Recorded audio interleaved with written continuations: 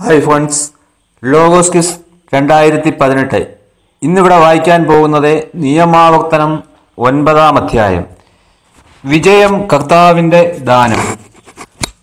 ഇസ്രായേലെ കേട്ടാലും നിങ്ങൾ ഇന്ന് ജോർദാൻ കടന്ന് നിങ്ങളെക്കാൾ വലുതും ശക്തവുമായ ജനതകളെയും ആകാശത്തോളം ഉയർന്ന കോട്ടകളാൽ വലയം ചെയ്യപ്പെട്ട വിശാലമായ പട്ടണങ്ങളെയും കൈവശമാക്കുവാൻ പോവുകയാണ്.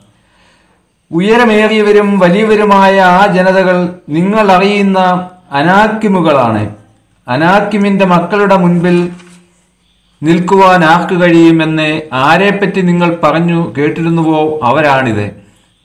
നിങ്ങളുടെ ദൈവമായ കർത്താവാണ് ദഹിക്കുന്ന അഗ്നിയായി നിങ്ങളുടെ മുൻപിൽ പോകുന്നതെന്നെ നിങ്ങൾ ഇന്ന് മനസ്സിലാക്കണം. അവരെ പുറത്താക്കുകയും നശിപ്പിക്കുകയും ചെയ്യാൻ നിങ്ങൾ മുന്നേറുമ്പോൾ കർത്താവ് വാഗ്ദാനം ചെയ്തിട്ടുള്ളതുപോലെ നിങ്ങൾ അവരെ തോൽപ്പിക്കുകയും നിശേഷം നശിപ്പിക്കുകയും ചെയ്യും. നിങ്ങളുടെ ദൈവമായ കർത്താവെ അവരെ നിങ്ങളുടെ മുൻപിൽ നിന്നും നീക്കം ചെയ്തു കഴിയുമ്പോൾ എന്റെ നീതി നിമിത്തമാണ് കർത്താവെ ഈ സ്ഥലം അവകാശമാക്കാൻ എന്നെ കൊണ്ടുവന്നതെന്നേ നിങ്ങൾ ഹൃദയത്തിൽ പറയരുത്. ഈ ജനതകളുടെ ദുഷ്ടത നിമിത്തമാണ് അവിടുന്ന് അവരെ നിങ്ങളുടെ മുൻപിൽ നിന്നും നീക്കിക്കളയുന്നത്. നിങ്ങളുടെ നീതിയോ ഹൃദയപരമാർത്ഥതയോ നിമിത്തമല്ല നിങ്ങൾ അവരുടെ രാജ്യം കൈവശമാക്കാൻ പോകുന്നത്.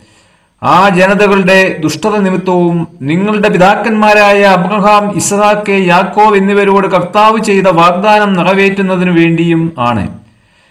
അവരെ അവിടുന്ന് നിങ്ങളുടെ മുൻപിൽ നിന്നും നീക്കിക്കളയുന്നത്. നിങ്ങളുടെ ദൈവമായ കർത്താവെ നിങ്ങളുടെ നീതി നിമിത്തമല്ല ആ നല്ല ദേശം നിങ്ങൾക്ക് അവകാശമായി തരുന്നതെന്ന് മനസ്സിലാക്കിക്കൊള്ളുവീൻ. എന്തെന്നാൽ നിങ്ങൾ ദുശാട്ടിക്കാരായ ജനമാണ്.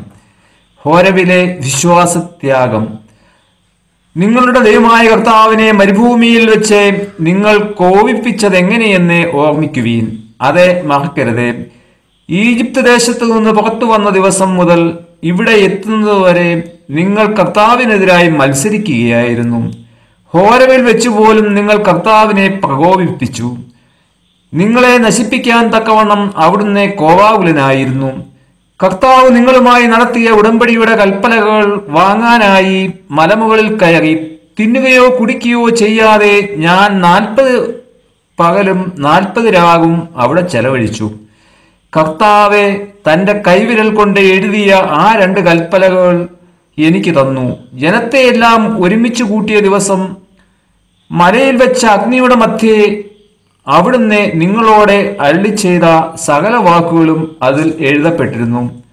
നാൽപ്പത് പകലും നാൽപ്പത് രാവും കഴിഞ്ഞപ്പോൾ ഉടമ്പടിയുടെ ആ രണ്ട് കൽപ്പലകൾ കർത്താവ് എനിക്ക് തന്നു. അവിടുന്ന് എന്നോട് പറഞ്ഞു എഴുന്നേറ്റ് അതിവേഗം താഴേക്ക് പോവുക. എന്തെന്നാൽ നീ ഈജിപ്തിൽ നിന്നും കൊണ്ടുവന്ന നിന്റെ ജനം തങ്ങളെ തന്നെ ദുഷിപ്പിച്ചിരിക്കുന്നു.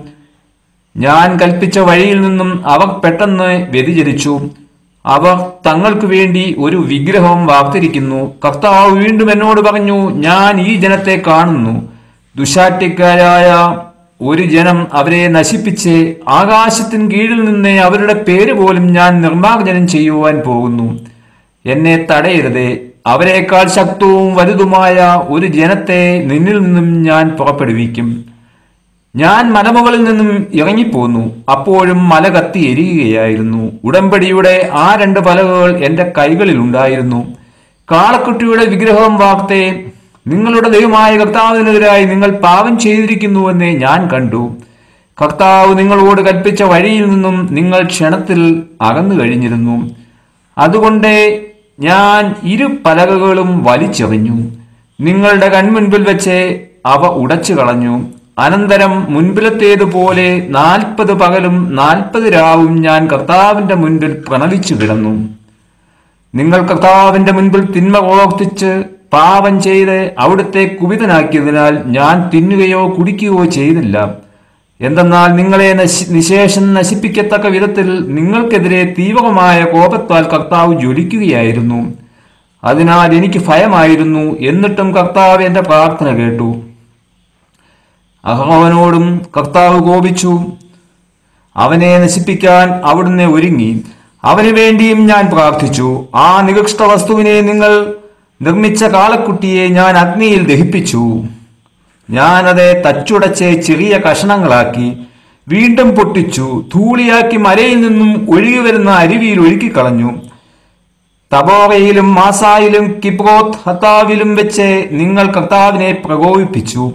ഞാൻ നിങ്ങൾക്ക് തന്നിരിക്കുന്ന ദേശം പോയി കൈവശമാക്കിക്കൊള്ളുവീൻ എന്ന് പറഞ്ഞ് കർത്താവെ നിങ്ങളെ കാദിഷ് ബർണായിൽ നിന്നും അയച്ചപ്പോൾ നിങ്ങളുടെ ദൈവമായ കർത്താവിന്റെ കൽപ്പനകൾ നിങ്ങൾ ധിക്കരിച്ചു. അവിടുന്ന് നിങ്ങൾ വിശ്വസിച്ചില്ല. അനുസരിച്ചുമില്ല. ഞാൻ നിങ്ങളെ അറിയുവാൻ തുടങ്ങിയത് മുതൽ നിങ്ങൾ കർത്താവിനെ അനുസരിക്കാത്ത ധിക്കാരികളാണ്. അതുകൊണ്ട് ആ നാൽപ്പത് രാവും പകലും ഞാൻ കർത്താവിന്റെ മുൻപിൽ പ്രണവിച്ചു കിടന്നു. എന്തെന്നാൽ നിങ്ങളെ നശിപ്പിക്കുമെന്ന് കർത്താവെ അരുളി ചെയ്തിരുന്നു.